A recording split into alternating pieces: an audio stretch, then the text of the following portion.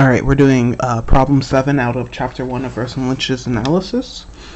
So we have a function f from x to y, and we're going to say a and b are subsets of x, c and d are subsets of y, and we want to prove the following uh, subset kind of uh, equality statements. So for A, we have to prove two two kind of uh, things. So to prove this subset equation, so we can say uh, let x be an element of f of A, uh, A union B. Uh, so, so, so what this means is, or maybe I'll use y here.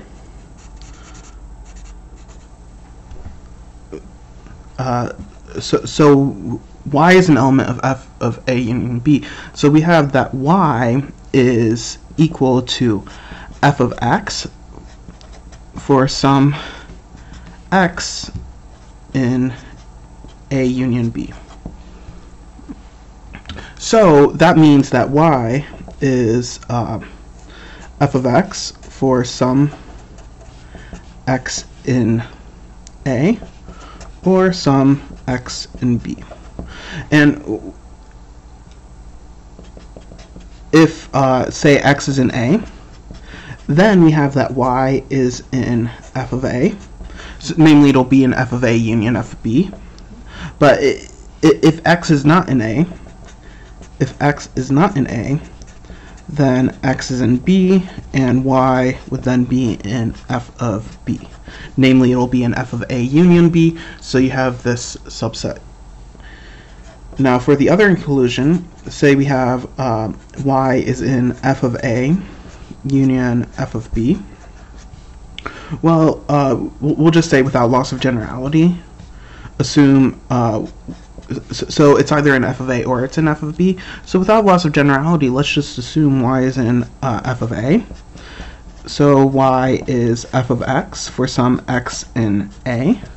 But uh, that that that mean A will also be an A union B because A is a subset of A union B, and so so that means that Y will just be in the image of uh, A union B as well, and we have both subset e equations, so we have that this is an equality. So we have that will be true. All right, let me get a new piece of paper. So for B, we just want to uh, do a single uh, direction for intersections. So uh, what we could do is we could say let y be in f of a intersect b. So what does this mean? So we have y is in equal to f of x, where x is in a intersect b. So namely, what happens, uh, so, so, so since x is in a, we have we'll have that it is the case that uh, since x is in a and y is f of x, that means that uh, y will actually be in f of a. But similarly, since x is in b, uh, th this will imply that uh, y is in f of b. And so since it's in both, that implies that y is in f of a intersect f of b, and we have that this subset equation is true. All right, so maybe I will bring this down and we'll do problem C. So C, we want to do another equality. So um, again, we have two uh, subsets. So let's do this one first. So we're talking about the inverse image of C, C union D. So say we have X is in the preimage of C union D. So what does that mean? That means that, so, so this means that f of x is an element of C union D. So that means f of x is in C or f of f or f of x is in D. So if f of x is in C, then we that implies uh, that just by the definition that x is in f inverse of c.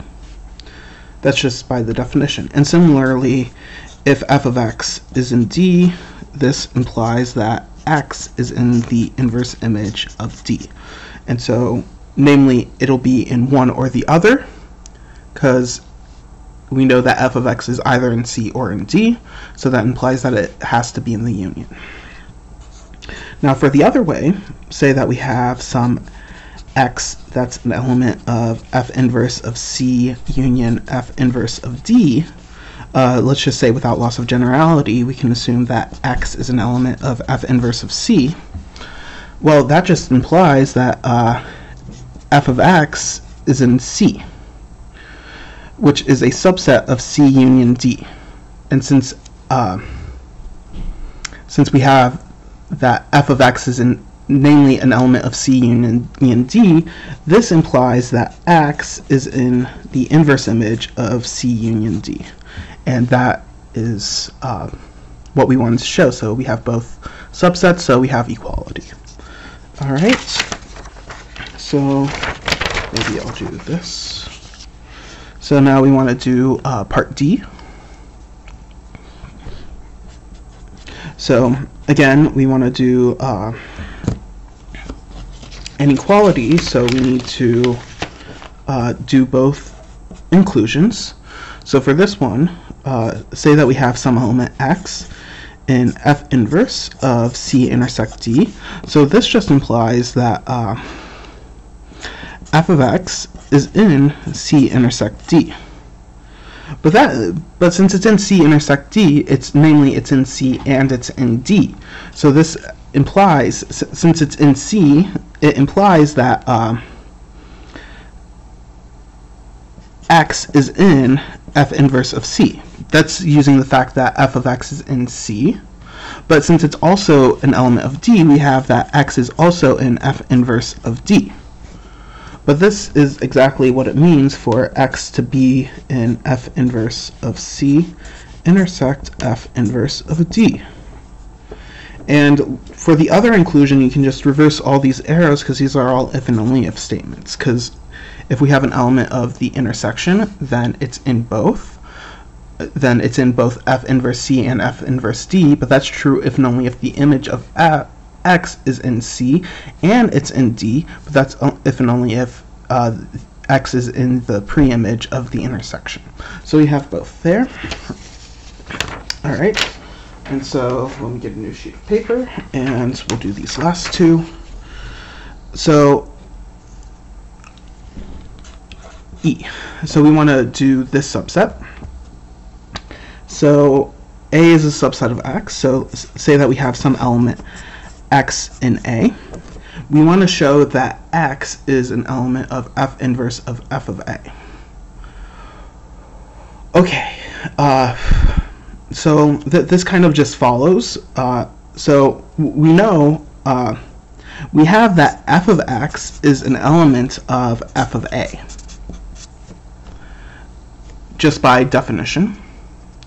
And then uh, what happens is since since f of x is an element of f of a, and this is a, going to be a subset of y, so we, we can then look at what the preimage of f of a is, and since f of x is in here, this implies that x is an element of the preimage of f of a, just by definition.